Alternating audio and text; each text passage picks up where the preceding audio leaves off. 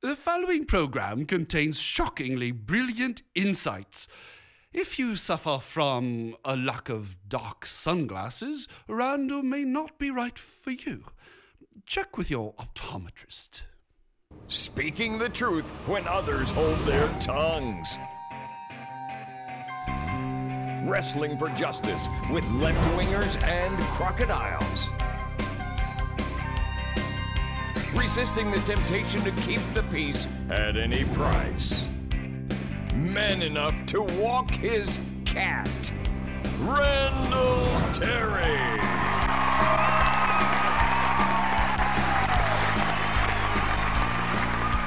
Thank you. You're beautiful. I love you. Yeah, I'm begging for Kagan, all right. I'm begging for Kagan to be derailed, defeated, filibustered, otherwise thrown into the political dust heap of history. Ow. Thank you. I love you, and I always have. Let me tell you something right now about today's program. If you watch this show to the end, you are going to learn some things today that you will not get anywhere else, and you'll be the person telling your friends, hey, this is what's really going on. Stick with me about precedent and stare decisis. I'm going to make you a smarter person. In today's headlines, 10 Russian spies arrested. And Bill Clinton meets with Vladimir Putin to talk about the Russian spies. And Elena Kagan caught lying. She bursts into flames, the flames of hell. I'm not making this up. We've got it on camera. You're going to see her on fire, okay? Today's program brought to you in part by the KGB. We're still sending beautiful spies for some pillow talk after all these years. And by the FBI. We're still arresting those spies. Is this a great country or what? Before we go any further, we need a quick commentary from my good friend, Joey the Hammer. As you may know, there are 2.3 million prisoners behind bars. I was thinking the other day, my father, God rest his soul, if he had to choose between elderly facility where he could go and a prison, what would he choose? Well, let's think about it. If they put the elderly in a prison, they're going to get exercise, maybe a nice pool, a workout room, maybe some art classes. They're going to have constant surveillance by video camera. If they fall down, God forbid, somebody will be there immediately to pick them up. If they need medication, it will be brought to them. Two times a week, their clothes, their laundry, their sheets, everything will be washed and delivered to them folded. Their medications will be monitored very carefully. All of that would happen here in this prison. On the other hand, if you took all the prisoners that were here, some of these scum, I tell you right now, you put them in a nursing home, what are they going to get? Lights out, 8 o'clock, lights on, 5 o'clock, three ice cold meals a day. You get stuck in a room and left there all alone for the whole day, and you get to pay $3,000 a month for this travesty. So you tell me what's wrong with this picture. Let me tell you something. If your mother or your father is getting old and needs care, don't stick them in some human warehouse. Bring them under your roof. Change their diapers. Hey, they changed yours when you were a miserable little squirt. It's time to pay them back.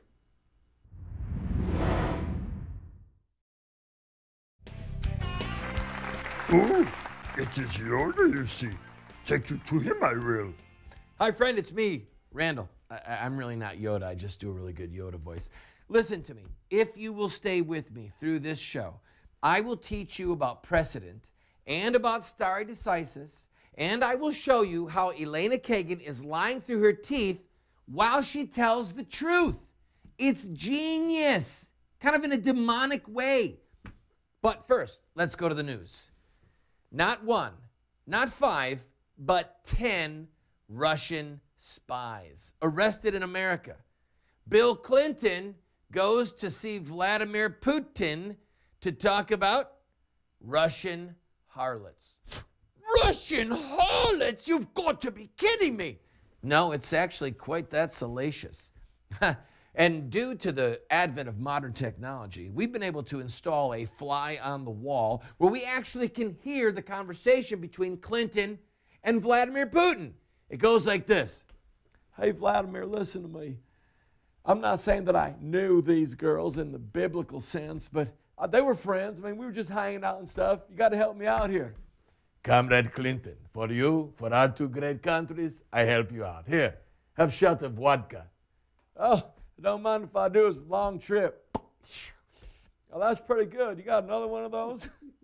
oh, oh, thanks. Hillary's not here. How about one more, just for old time's sake?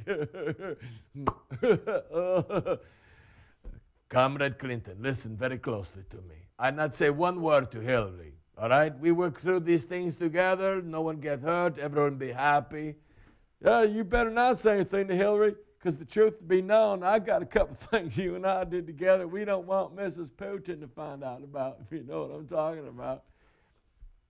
Comrade Clinton, for you, for me, for Mrs. Clinton, for Mrs. Putin, everybody be happy if this very sorry affair gets behind us very quickly and our two great countries go forward together into the future.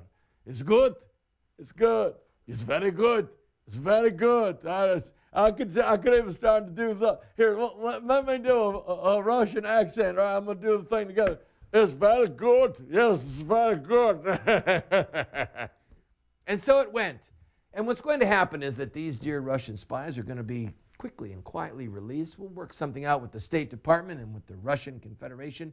Everyone will be happy, and thus it goes. On other news. We actually have seen the unthinkable.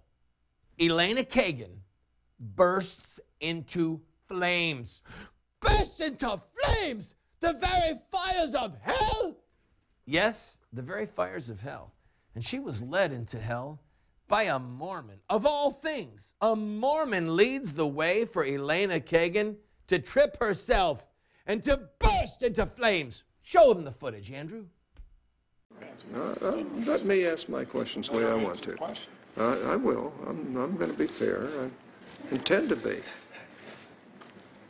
And you know that after 34 years. go ahead. I keep going. Did you have something else you wanted to add? No, go ahead. Okay. We have to have a little back and forth every once in a while, or this place would be boring as hell, I'll tell you. And, and it gets the spotlight off me, you know, so I'm, I'm, I'm all for it. I Go right ahead. And by the way, I've been informed that hell is not boring, so I, you can imagine what I mean by Just that. hot. And- Okay. Oof, that looked hot. I'm telling you right now, that woman is in trouble. In Orrin Hatch, you should be ashamed of yourself. All right, finally, precedent, stare decisis. What's it all about, Alfie?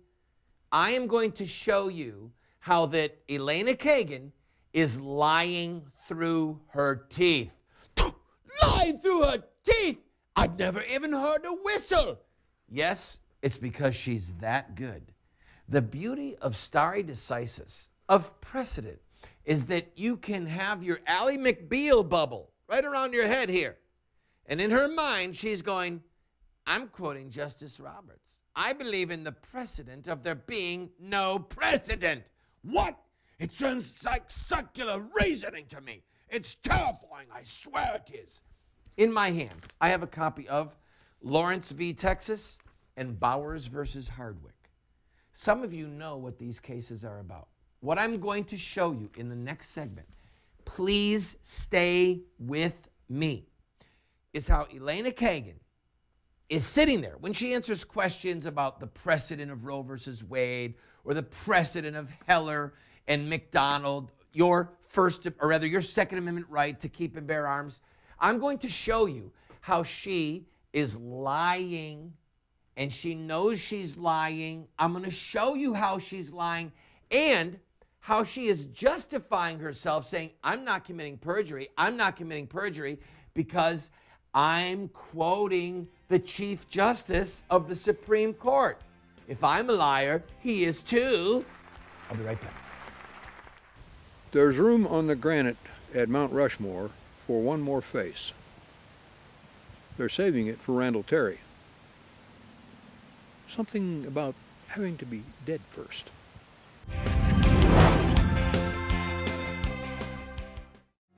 moments with Moses. You shall not see your brother's donkey, or his ox fallen down by the way, and withhold your help from them. You shall help him to lift them up again. Welcome back to the program. If you will stay with me through this segment, you will learn some things that you'll be able to talk to your friends about and help everyone around you understand the deception that is happening involving Elena Kagan and how she could justify it using Supreme Court precedent. All right, you've heard the phrase precedent thrown around. You've also heard the phrase stare decisis or stare decisis. That's a Latin phrase, and it means, quote, let the decision stand. Let it stand. So if there is a decision, such as Roe versus Wade, or such as the Heller case that happened a year ago involving handguns in Washington, D.C., or the McDonald case that came down a couple of days ago regarding the law in Chicago that allowed the Chicago government to say to a, a law abiding citizen, you can't own a handgun. That these decisions create a precedent. And then you say, well, it's a precedent. This is the way we do things. Stare decisis. Let the decision stand. Let it become the genesis. Let it become a part of the path of the rule of law. So, when she was grilled on the Second Amendment, I'm going to explain to you how she was lying. When she was grilled on the Second Amendment, she said, I consider Heller and McDonald precedent. And both Grassley and I don't remember which other uh, which other senator asked her, "Do you believe?" It might have been Coburn said, "Do you believe it is a fundamental right for a person to own a firearm?" And guess what she said? She wouldn't answer. She would not answer. All she said was, "It's precedent, and I will treat Heller and McDonald with all of the respect due of all of the precedents that have come before. Now, please hear me, because this is going to get really twisted and convoluted. You have to understand the circular reason that she is using, and that members of the court are using, and that the enemies of truth and justice are using to justify their lies. You will remember that about a year ago, Sonia Sotomayor said, Well, Heller's the law, and we're going to stand by it. And then in the McDonald case, she said that she could nowhere see the right of an individual to keep and bear arms. She was lying to the Judiciary Committee while she told the truth. Here's how she justified her lie. Please listen to me. In the Lawrence versus Texas decision and the Bowers versus Hardwick decision, here's what you had. Bowers versus Hardwick in 1986 said that consensual homosexual acts, okay, two men, two women doing unspeakable things, it said that these were not fundamental human rights.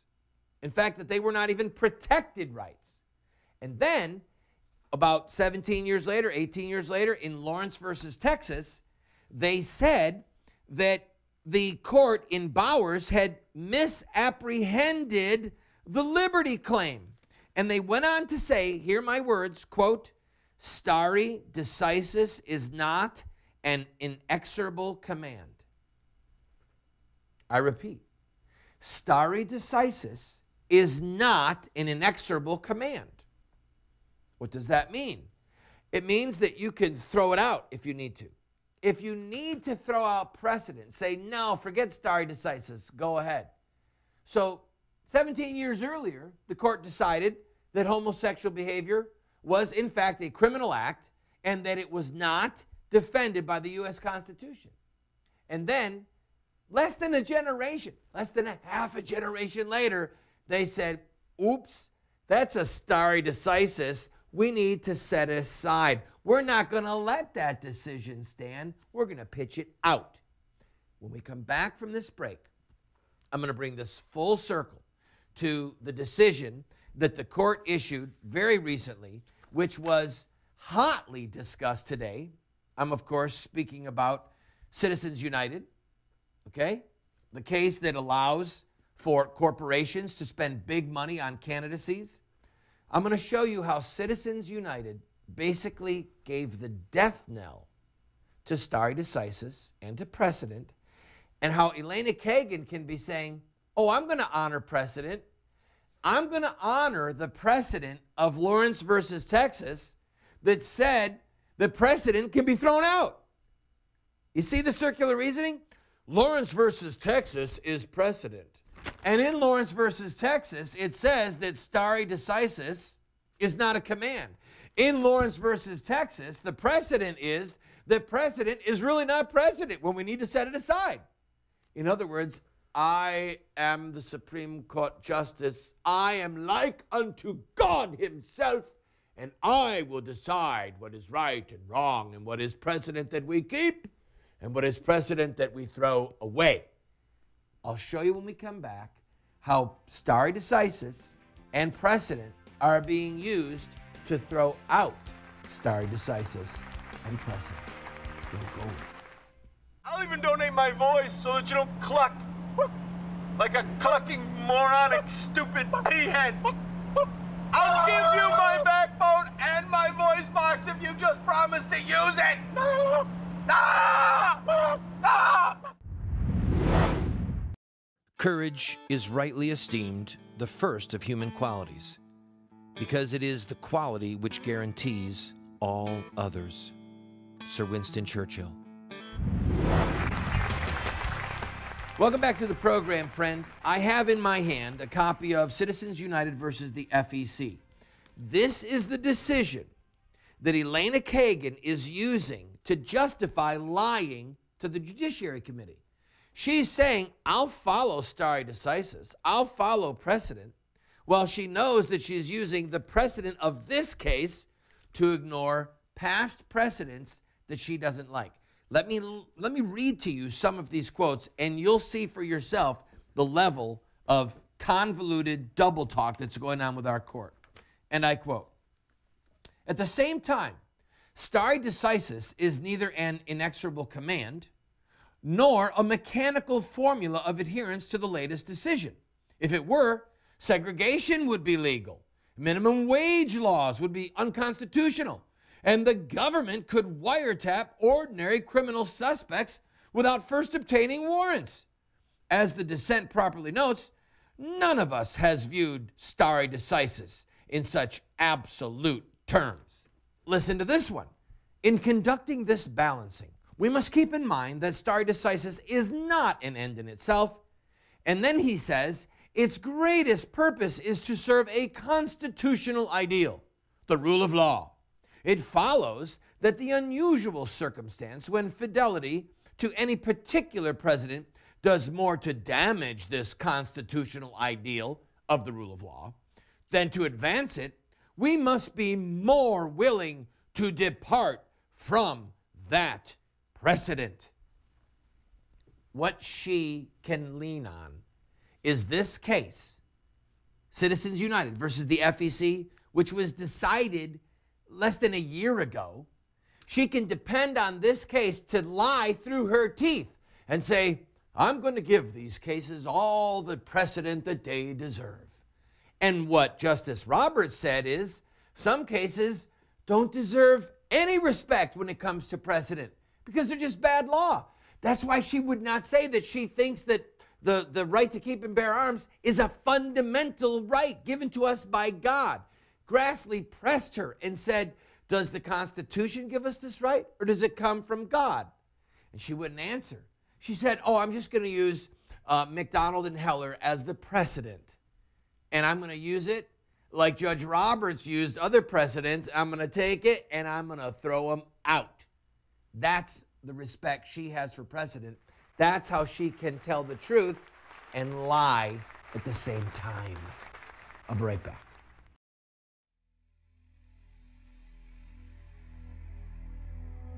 Let death come upon them. Let them go down to Sheol alive. Let them go away in terror into their graves.